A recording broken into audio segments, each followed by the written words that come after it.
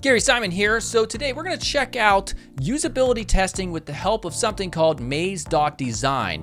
That's the actual URL. No, this is not a sponsored video, but I saw this uh, site and the service and I thought it was really cool. And here's why. When we're a UI designer and even like a beginner UX designer, Sometimes we make assumptions about our designs and we don't do any user testing before we actually have it converted, you know, or we hand it off to a front-end developer for HTML, CSS, JavaScript, and we just assume because it looks pretty, um, because we can personally use it and it works well, we make the assumption that everybody else can. And that's a flawed mindset. So where Maze comes in is it allows you to take your prototypes that you create in Figma, XD, Visual Studio, Mar or Sketch, and Marvel, you can paste them in here and it allows you to create basically a test platform where you can have test subjects, people who haven't used your app yet, and it helps you gain valuable insights as they actually work through the prototype and you create a set of what are called missions. You can get feedback from them based on those missions, and it's just a really cool platform. So that's why I wanted to cover it. So I'm going to show you how to set up one yourself so that you can start really maximizing uh, the, your site's UX essentially. All right, so as always, make sure to subscribe and let's get started. Before we begin, this video is sponsored by Linode. Now, as a front-end developer or a designer, you know that you need a personal portfolio. And if you use a website builder like Wix or Squarespace, they lack total customization and they lock you into using their platform. But to be a pro, you need to use the tools that the pros actually use. So level up, start building your own projects and your own portfolio on an enterprise level content management system like WordPress or Drupal. Now, real web development sometimes requires knowledge of spinning up servers, managing domain names, and setting up an occasional staging environment. And there's no better or simpler way to learn the ins and outs of hosting your website than with Linode Cloud Hosting. Linode Cloud Hosting makes it as easy as possible for you to deploy a WordPress or Drupal website in seconds with the free Linode one-click app marketplace. So click on the very top link here in the YouTube description to get your free Linode account along with $20 of free hosting and all the tools that you need to build enterprise class websites. What happened to my body? Oh, I'm wearing a green shirt. I know if I didn't mention it, you guys would mention it as if I didn't already know. I'm very lazy. I didn't feel like changing my green shirt. All right. It doesn't matter. You don't need, really need to see my torso anyhow.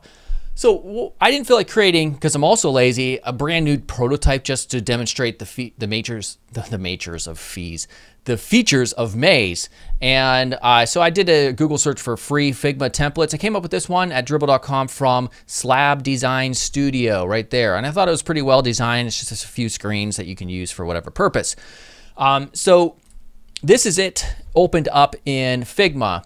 So of course you don't have to use Figma. You can use other prototyping tools. I, if we come over to maze.design, you'll see that I, you know, you can use Figma. It says XD, but I tried pasting in an XD prototype and hit get started. And then it just told me it XD isn't supported yet. I'm not sure why XD is shown there, um, but also InVision Studio, Sketch, and Marvel. All right, so I, I chose to use um, Figma because I'm pretty familiar with it anyhow. So what you need to do is first, I these artboards didn't have any prototyping between them enabled. So we're gonna switch to prototype. And let's say that um, we wanna test how easy a person can find a course for one of the actual tests. So first, this is the initial screen that will get started. So we'll make the get started button go over to the main user interface where it says fundamentals courses and this is a course and this is a course all right? So then we want them to be able to click this course and go to the course details page right here all right? And then finally we'll probably do another test where I we ask them to exit out and go back to the main app user interface. So this is kind of how the usability kind of testing thing works. Uh, you you ask people to try to complete certain tasks that will need to be uh, executed in the app. Uh, and you ask them how easy is it is it? And you can ask them all sorts of things and and you'll see. Um, but this is all I'm going to do for the the uh, wireframing. So then we click on share and then we copy the link right there. Now we go back to Maze and we're going to create a new project we're going to create uh, we have validate your prototypes with Maze user testing all right, we're going to do this one right here. All right, so we paste it in and hit create. And it's going to work in about a couple seconds. Hopefully it will refer back over. There we go. And this is the main user interface that you have to work from. So uh, over here, we kind of have what's going to be the flow. So we have different blocks. This is a block and it's a, a type of mission. Um, there's different uh, block types here. We have mission, we have yes or no. Um, right here, we're going to start off with a default mission, and the task title is going to be right here. So we can put in um, our first mission is to have them click and find the first course that they see, I guess. So find a course. So now we can just put in um, visit the first course you see and read the details or something like that. I'm thinking of this off the top of my head. I would I would word this better normally. Um, and now what you have to do, you can see here it says expected paths. So path one by default has uh, right here this um, the home screen right here. This get started. So you can either click on your prototype to designate the next path or the next page that you want them to, to go to in the path, or you can change your starting screen right here by clicking this button. But we want this to be the starting screen, so we're going to hit Get Started right there. And then we're also going to click this one right here. All right. So we'll say that that is the path. Um, and the, that's the end of the path. All right. So what we do now, and by the way, you can add uh, another path here, and you can also add conditions, but you have to upgrade to that. So I'm not doing that right now. Um, now we can add another block after, like what happens after they complete that. So you can ask a multiple choice question. You can give them opinion scale, a yes or no question, uh, a bunch of stuff. So let's just do an uh, opinion scale. Um, how easy was it to find a course? I don't know. All right. You can add notes and image. Um, then we could do this like, uh, because it's a, it's a, scale, we have our scale from X to whatever. Um, and it gives you a preview of what the user will see. So on a scale of zero, we can make it start at one instead. Uh, so it goes from one to 10. Um, we could say very easy on the far left, um, moderate, and then very hard or something like that, or very difficult. Um, and then you could change some other options down here. Um, and that's pretty good right there. So now we're going to add another block.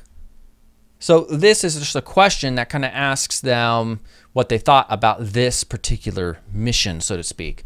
So let's add another um, mission right here. So for this mission, we can see by default it has the current path one set to the last screen that we chose, which is helpful. Um, let's give this a task name of um, main UI. We'll just give it a, a, task title of main UI, maybe user interface. Go back to the main user interface, something like that. Uh, and then we click on this X button and we can see there it is. That's all we want them to do. We want to see how easy it is for them, if they're on that page, just a fly flying around, for them to figure out how to get off of that page. And of course, that would involve clicking the X. Um, so that would be another mission. So then after that, we can add, you know, any number of these things. it depends on how, this is obviously a very simple example, so we're not going to have much. Um, but then you could probably just add up uh, uh, a follow-up, an open question. Uh, what did you think about our app? All right, um, you can put an image and, and uh, text based, whatever, blah, blah, blah. And we'll just say that that is it. Uh, so now we can go ahead and click preview. And this will put you into the seat of an actual tester, but this is just for preview and it doesn't count as tests towards your project. And you'll see why that's important. Um, so let's get started. And then it says find a course. So this is the very first mission that I designated. Find a course, visit the first course you see and read the details. So we're going to hit get started for that mission. So let's find the course. All right, well, there's not a course here. Let's hit get uh, started. This technically is like the first course really, um, but I kind of screwed that up. So let's just say they end up finding this And yay, that's the end of the mission. So it says, well done, you completed this mission. It would be nice to maybe uh, control this page, you know, if there's text here that you can control, I'm not sure. We'll hit continue. Now, how easy was it to find a course? So that you're really kind of delving into specifically their mindset and getting feedback, very necessary feedback if you want to optimize things as much as possible. So we'll just say like seven and continue. So now we have another mission because that's what we designated in the flow within Maze. So main user interface, go back to the main user interface. It sounds, you know, like duh, we know to click the X, but sometimes we make assumptions and a lot of times they're wrong. So how do I go back to the main user interface? Do I click off here? I should be able to do that. So maybe that would be feedback that they would have. I want to be able to, I don't want to have to click this little X, you know? So mission's done. You completed this mission. Hit continue. What did you think about our app? I, I thought it was just absolute junk because, you know, you'll get comments like that. Hit continue. Thank you. You completed our maze and we couldn't be more grateful, blah, blah, blah. Um, so now at this point, if you're happy with that flow after testing it yourself, you can click start testing and it says you can't make any changes to your maze after this step. Make sure everything is okay to proceed. So that's kind of strange to me. Maybe it's because I, I'm, I'm like a free user and I'm not upgraded, but I would like the ability to take a test or take a, a, an actual maze setup like we just set up here and edit it in the future. Maybe they allow you to do that if you're an actual paid customer. I'm not sure though. Confirm and start testing. We'll click that. And your maze is live. That's like a that's a cool. I like that animation there, by the way. That was very cool. Um, share it with people so that they can visit and test your maze. Uh, return here to view your results in your unique UX report. So we can copy your maze link, which is right here. All right, so you can do test tracking. Uh, you can do unique sessions. Only allow only one unique session per tester device. So there's a lot of stuff here that we can do. You can hire testers if you don't have them. That's obviously important. Uh, order results from our curated panel. So how many testers do you want? Uh, let's say we wanted 100 testers. $285. That's a lot of money. Uh, but then again, if you're working with, if you're a big company, you find that, you know, you might find that valuable. I personally would probably try to find my own testers uh, for that particular purpose. But that's pretty that's pretty wild. But again, if you're really serious about a product, uh, and you know you have a solid plan for monetization, you know you, you put you invest money into it. Uh, so social networks share your maze. Um, so ultimately, once you get testers, and I guess you can have five testers, you can see the results of each of the reports, and you also get kind of like probably uh, a whole report that's kind of just combines all the data from all the testers, which would be helpful in order to spot areas that you probably should improve. All right, so hopefully you enjoyed that and learned something new. I, I think I really want to get into usability a little bit more, actually a lot more, and I think I might use something like a, a service like this to actually show a real world case study where I throw a bunch of testers at it, and maybe it'll be like a community project uh, over several videos, and we can see ultimately are our assumptions correct? Are there uh, points that we completely didn't think of that perhaps the testers uh, shined a light on?